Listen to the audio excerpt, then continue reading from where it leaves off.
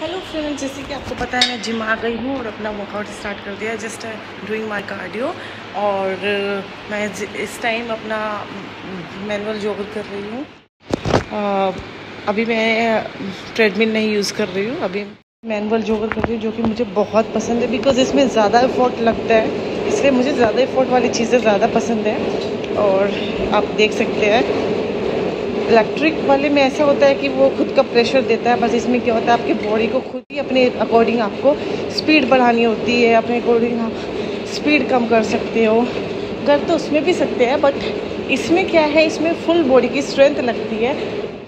अभी जिस टाइम है मेरे को थर्टी मिनट्स होने वाले हैं, जिसमें कि मैंने टेन मिनट्स स्पिन बाइक की है और फिफ्टीन मिनट्स मेरा जोगर कंप्लीट हो गया है, मैनुअल जोगर।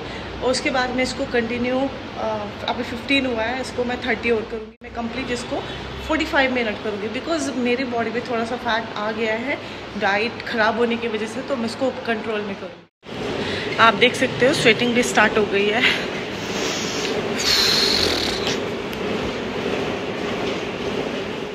ये मेरा मैनुअल जोगर है तो इसको मैं अभी ये नॉर्मल स्पीड पे चला रही हूँ। अब इसको मैं अपने अकॉर्डिंग स्पीड को बढ़ा सकती हूँ। देखो तो ये क्या होता है, ये आपका बहुत अच्छा इफ़ेक्टिव होता है, आपकी फुल बॉडी को कवर करता है फैट परसेंटेज कम करने में। साथ ही साथ के ग्लूट्स के लिए बहुत अच्छा आप इसको इसको इंक्लाइन एडजस्ट भी कर सकते हो। और अपने अकॉर्डिंग मेरे को तो बहुत